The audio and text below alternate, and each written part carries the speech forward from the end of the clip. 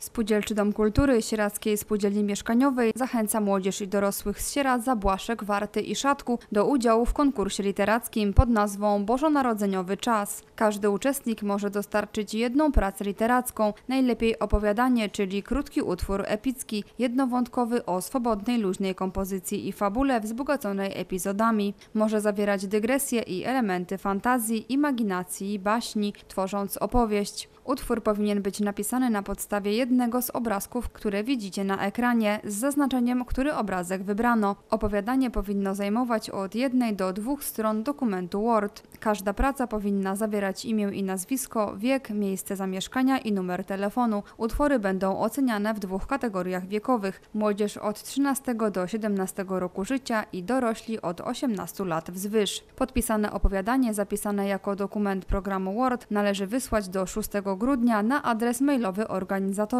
sdksierac.gmail.com. W tytule maila należy wpisać konkurs literacki. Wyniki będą ogłoszone 10 lub 11 grudnia na stronie internetowej www.sdk.ssmsierac.pl oraz na facebookowym fanpage'u Spółdzielczego Domu Kultury. Wręczenie nagród będzie miało miejsce 15 grudnia. Zachęcamy do udziału w konkursie.